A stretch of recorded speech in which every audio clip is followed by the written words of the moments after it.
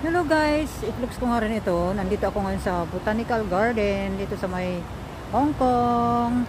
Wow, ang saya-saya. Nakakita ako ng saging. Oh, dito guys. Wow.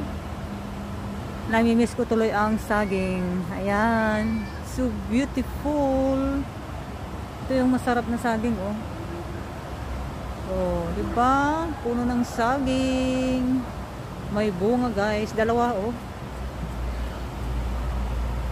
Ayan, may isa pa doon. Oh. Wow, so amazing. I love it. I really love it. Puno ng saging. Look at this.